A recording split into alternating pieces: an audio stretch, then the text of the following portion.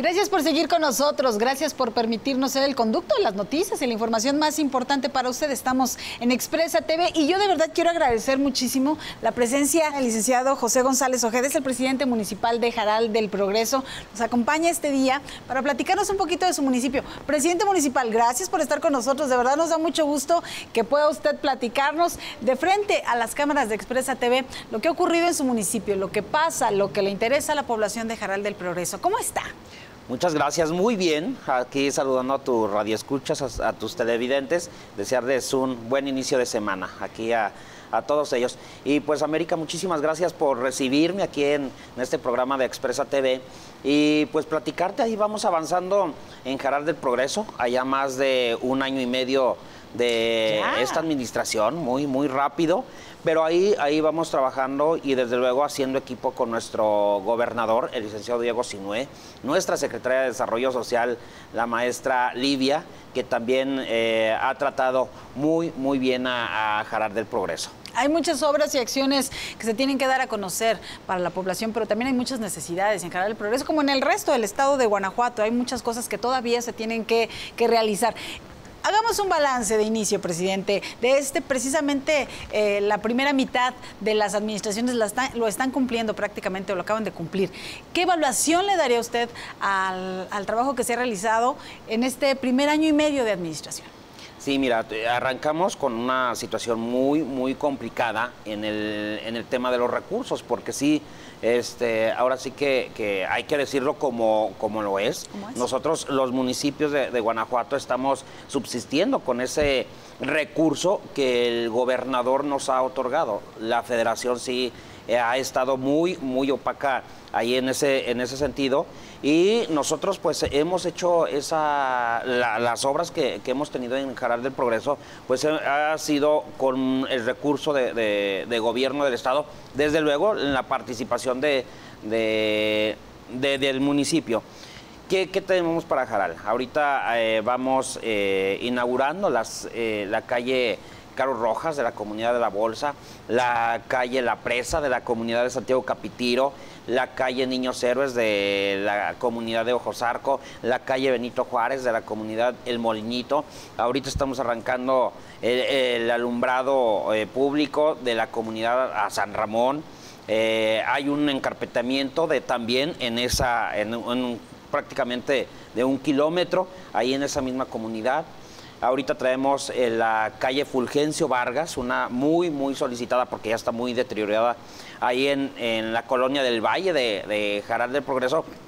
Y pues bueno, ahorita traemos eh, una proyección de eh, aproximadamente de 40, 50 millones de pesos para invertir en, en Jaral del Progreso en las diferentes direcciones también eh, con, en, concurrencia con las diferentes secretarías de, gobierno del Estado. Nos va a ir bien y yo siento que nos va a ir aún mejor eh, todavía con, con, el apoyo que nos sigue dando nuestro señor gobernador Diego Sinue. ¿Cómo pinta este año? Eh, estas obras que me menciona, presidente, eh, pues impactan de manera directa a la comunidad. Pareciera que no son, eh, y lo digo en su municipio, pero en el resto de los municipios, pareciera que no son obras muy magnas, muy grandes, pero la verdad es que impactan mucho en la sociedad. Son necesidades que se tienen que cubrir de la sociedad, como lo son los servicios básicos, incluso el agua, el drenaje, la energía eléctrica, en fin, impactan de manera directa este año ya tienen una proyección económica, ya tienen un, eh, un programa de obras autorizado ya. Sí, ya, ya, ya lo tenemos. Por eso es de que eh, tuvimos la oportunidad de, concurrir con SICOM, con Desarrollo Social del Estado, porque ya teníamos ese banco de, de proyectos elaborados y desde luego validados por la instancia correspondiente. Que es lo que a veces retrasa un poco, ¿verdad? La llegada de recursos. Sí, sí, sí, porque pues el, el proyecto es lo que nos da la carta de presentación a los alcaldes y alcaldesas para nosotros ir a solicitar recurso. Aquí también eh, con su vecino, el ingeniero Paulo Bañuelos, hemos tenido muy, muy buen eh, acercamiento con él en el que en estos próximos días vamos a entregar molinos, vamos a entregar este, eh, hembras de, porcícolas, eh, vamos a entregar este bueno, entre otras otras cosas. agrícolas. Sí, sí, ahí en Jaral. Entonces también, también nos ha tratado muy, muy bien. Son dos obras, bueno, dos proyectos que ahorita estamos en trámite, que es precisamente el Panteón, el, proyecto del Panteón Municipal, que el que tenemos ya es, ya, ya, ya no tiene capacidad para, ahora sí, pues va a ser nuestra última morada, ¿no? Entonces, sí ya estamos viendo la validación con las instancias correspondientes, lo del rastro. El rastro es una obra que también ya urge ahí en el municipio por el tema de que lo tenemos en pleno centro. Y la idea es sacarlo de ahí, de, la mancha urbana porque también los olores. Sí, había muchas quejas. Mucha, aquí a, Expresa TV llegaron muchas quejas en torno, en torno a este tema precisamente, en el que ya los vecinos del rastro ya no sabían si dormían entre las reses. Sí, entonces ya tenemos el terreno, ya tenemos el proyecto, ahorita ya, ya le vamos avanzando y eh, estamos en los permisos correspondientes para eh, dar el siguiente paso, de dónde vamos a poder sacar los recursos. Desde luego, también yo le he comentado en dos, tres ocasiones, que no se va a hacer en una sola etapa. Es, un, es una inversión muy, muy importante, pero este, sí, vamos a hacerlo en, en varias etapas. Paulatinamente. Pues sí, porque sí, el, el recurso no nos da para de un solo jalón hacerlo, construirlo y, eh, tenerlo en operación.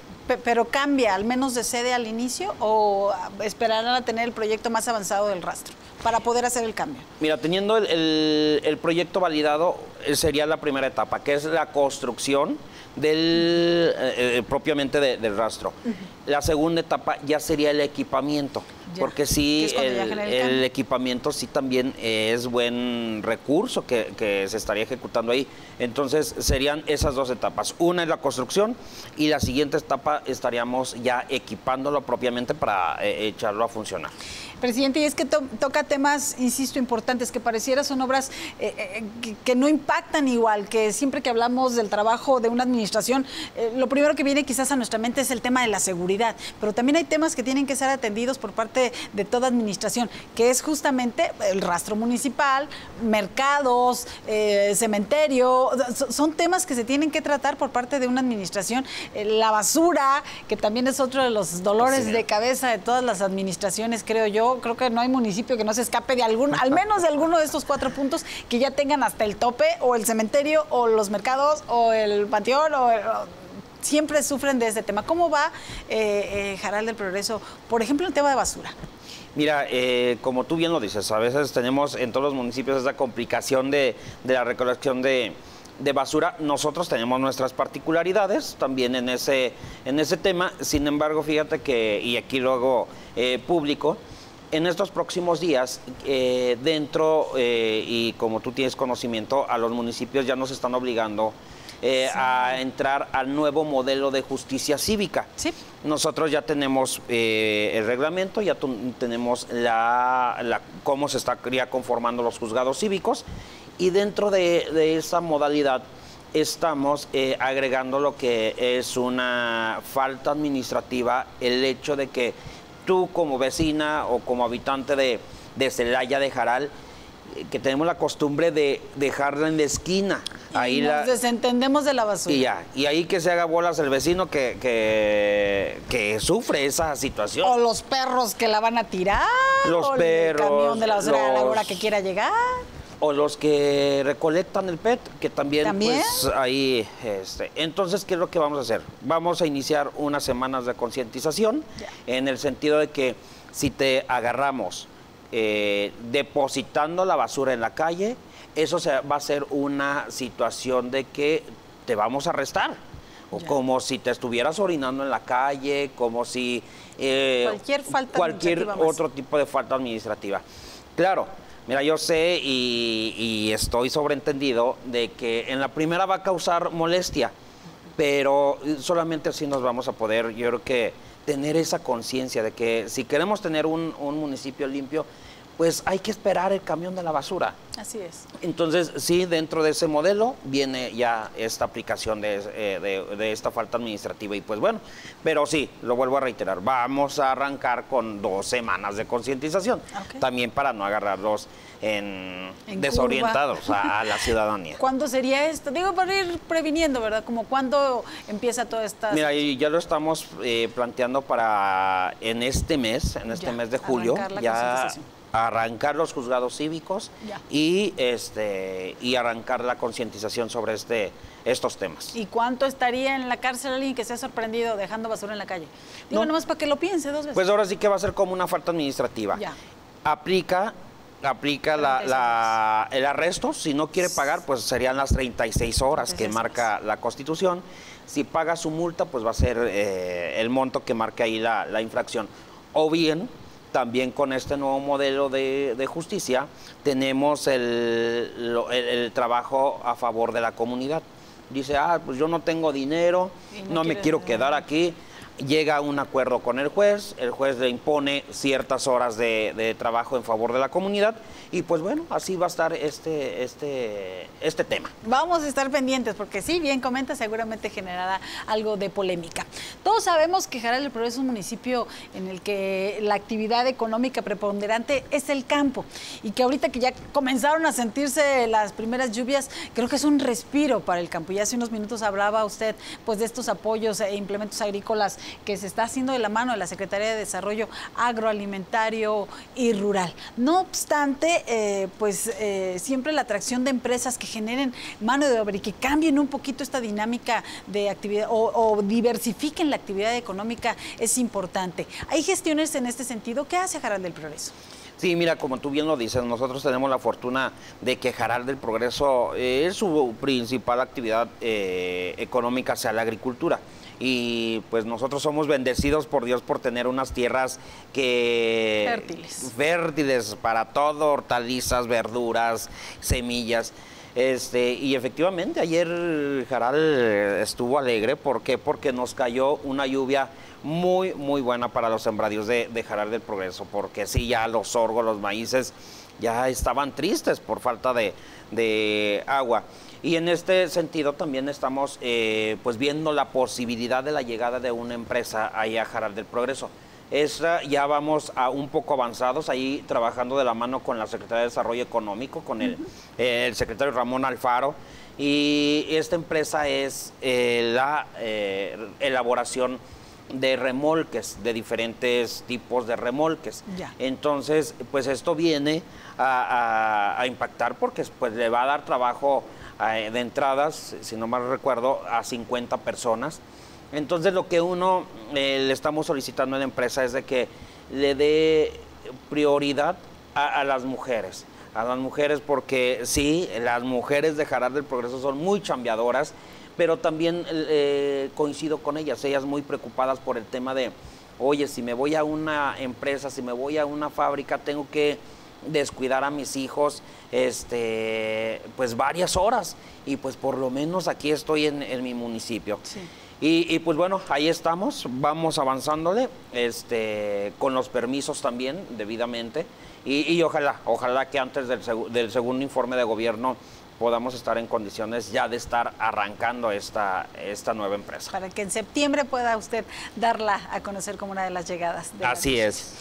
Y un tema que no puedo evitar preguntar es la seguridad. ¿Cómo está la seguridad en Jaral Progreso, en el estado de Guanajuato? Mire, bueno, no es exclusivo ni siquiera del estado de Guanajuato, en el país, el mundo, la situación en materia de violencia es delicada, es grave y se tiene que trabajar de una forma muy, muy constante con, los, con la participación de los tres niveles de gobierno, que pareciera a veces no se da o pareciera a veces no genera los resultados que la sociedad al menos, me imagino yo las autoridades de igual forma, eh, se necesitan, nos esperan. ¿Cómo va Jaral el progreso en el tema de la seguridad? Ha tenido dos, tres delitos de alto impacto. Sí, mira, ahora sí que, como tú bien lo dices, no ningún municipio estamos exentos de, esta situación que estamos viviendo. Sin embargo, sí estamos haciendo algunas acciones muy, muy enfocadas para disminuir los índices delictivos. A la fecha que yo recibí la administración, al día de hoy, sí la, curva ha venido bajando a la baja, a la baja, a la baja de los índices de alto impacto. Eh, sí me dicen algunas personas, oye Pepe, tú dices que ya ha ido bajando el, índice delictivo, pero sí me robaron, pero sí asaltaron ¿Qué es la percepción ciudadana? Sí, miren, les digo que, sí, esos delitos eh, necesitamos trabajar mucho, pero en particular lo que a veces eh, lo que se mide los, de los delitos de alto impacto sí nos han venido a la baja.